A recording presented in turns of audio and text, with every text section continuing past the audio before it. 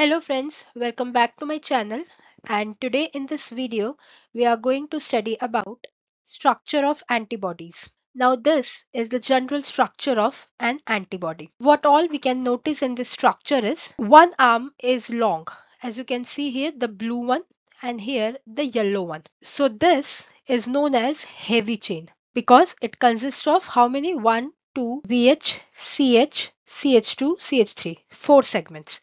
So definitely this is the heavy chain. And another chain is small in size consisting of only VL and CL. So this chain is known as light chain.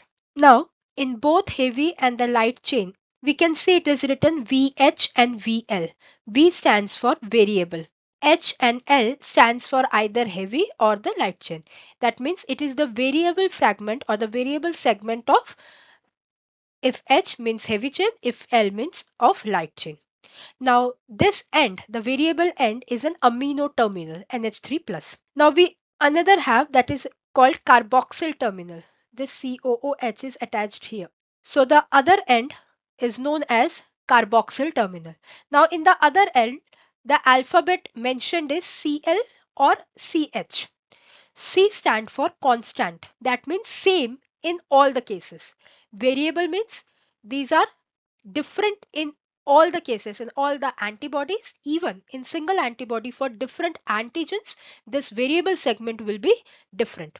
Because the name itself says it is the variable that means depending upon the antigen it is it varies from one antibody to another.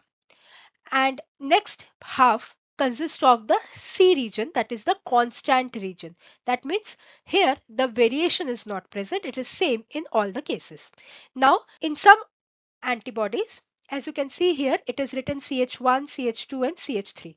So these constant regions in some antibodies there are three constant fragments. In some antibodies there are four constant fragments. This we will see in the next of next slide. So different antibodies will have different fragments of this constant regions. Some will have three constant regions, some will have four constant regions. Now the heavy chain and the light chain is connected with each other through SS bond as you can see here. What do we mean by SS bond?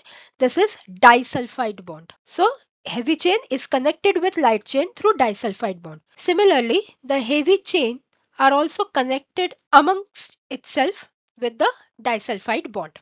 So that means with this we are clear that antibodies consist of amino acids and it should be cysteine rich. Other amino acids are also there but apart from that it should contain cysteine otherwise it cannot form the disulfide bond. Now one more segment you can notice this part.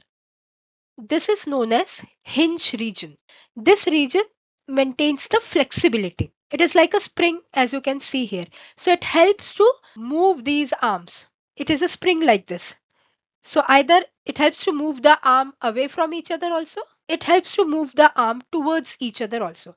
So depending upon the size of the antigen or where it has to bind, this hinge works as a spring that helps to move the arms of the antibody to capture the antigen. As you can say, you can take it as our elbow. If I throw a ball towards you, depending upon the size of the ball, either you will move your both the hands apart far from each other or you will bring both your hands close to each other. Depending upon how much big the ball is size of the ball. Now to move the hand away or towards each other what works? Your elbow. Because your elbow works as a joint over there due to which you can move your hands away and towards each other to hold the ball. Similarly these are the hands or the arm of antibodies that helps to capture the antigen. And this arm is movable. It made movable with the help of this hinge region, which is also connected with each other by disulfide bond. Apart from that, we also found the attach of CHO, carbohydrate, with the constant region. So the upper part, which is the variable part, we call it as a FAB. FAB means fragment of antigen binding. This is the fragment that binds with the antigen.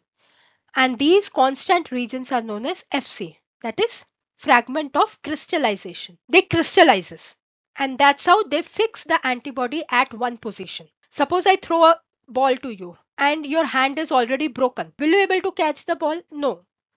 Because you cannot able to make your hand fix at one position to hold the ball. Similarly, this is called as fragment of crystallization because it crystallizes so that the antibody remains fixed at one position and with the help of hinge it can move its arm depending upon the size and shape of antigen to hold it. So this is about antibody structure. Now there are two major classes of antibody light chain. Now we are talking about only the light chains. So there are two major classes of antibody light chain. This variable VL that is the amino terminal half.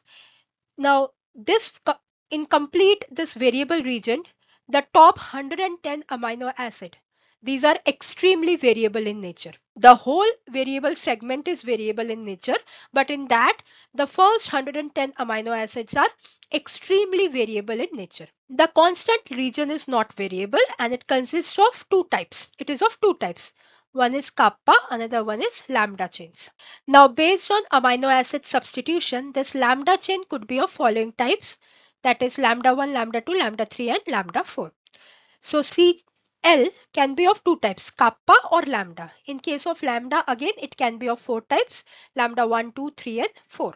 In humans, 60% of this constant chain is of lambda type and 40% are of kappa type. Now all light chain, the molecular weight is approximately 22 kilodalton. Within the variable region of the light chain, there were regions of hypervariability. As I said, first 110 is extremely variable. So this is the region of hypervariability.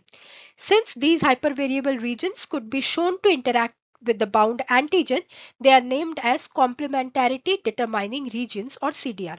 This hypervariable regions only, the first 110 is known as CDR because this segment binds with the antigen. So it should be complement with the antigen.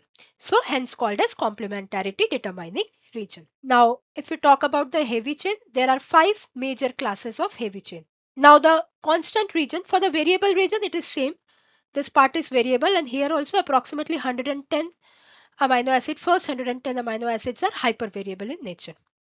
Coming to the constant region, it falls into five category. In case of light chain, it was two categories. Here it is five category. Mu, delta, gamma, epsilon and alpha. If it is alpha, we call it as, it is written here. If it is mu, we call it as IgM. Antibodies are also known as Ig. Ig means immunoglobulin. Why immunoglobulin? Because these are the molecules of our immune system and this is globular proteins. We already studied in biochemistry that proteins are of two types. One globular, another one is fibrous protein. So what type of protein are antibodies? These are globular protein. Hence antibody is also known by Ig that is immunoglobulin. So if the constant region is mu, it is IgM. You can remember with mu, M. So IgM. For delta starting with D, so it is IgD. For gamma starting with G, so the antibody will be IgG. For epsilon, IgE. For alpha, IgA. So with the first letter of these spellings, you can identify which antibody it corresponds to. Now the length of constant region of heavy chain is either 330 amino acid residue or 440 amino acid residues. So Gamma, delta and alpha consist of 330 amino acid residues and mu and epsilon contains 440 amino acid residues.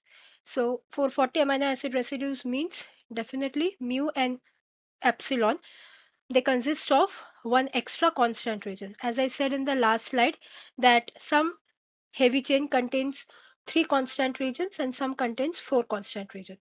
So mu and epsilon chain consist of four constant regions. Therefore, they are 440 amino acids long. Now, IgA, IgD and IgG, the weight is 55 kilodalton and M and E are 20% heavier.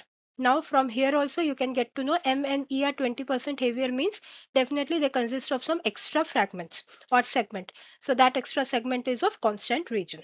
Now these antibodies can be of subclasses like IgA consists of two subclasses IgA1 and A2. Similarly IgG consists of four subclasses that is IgG1, 2, 3 and 4. Now this table in short, it is showing all the classes of amino acids, the heavy chain it contains, the number of constant region it has, subclasses, light chain, J chain and the molecular formula. Like for example, in the first, it is IgG. That means it is G. So that means heavy chain is of gamma. G, gamma and IgG. It consists of constant region. How many? Three. Subclasses gamma 1, gamma 2, gamma 3 and gamma 4 because in the last slide we saw that IgG consists of four subclasses and IgA consists of two subclasses. So here you can say in A you have alpha 1, alpha 2 and rest all are none. Coming to light chain, for any antibodies the light chain can, can be either of kappa type or of lambda type. Now what is this J chain? J chain means the amino acid that consists of that are not monovalent like for example below figures are there IgG, IgD, IgE. These are monovalent. Now coming to IgA, it is a dimer. This is one monomer and this is one monomer. So these two monomer are joined by a chain which is known as J chain. Similarly, IgM, it is pentamer. As you can see here, 1, 2, 3, 4 and 5. So all are connected with a chain called J chain. So J chain will be found in the antibodies that are polyvalent. So the polyvalent antibodies are IgM which is pentavalent and IgA which is a dimer.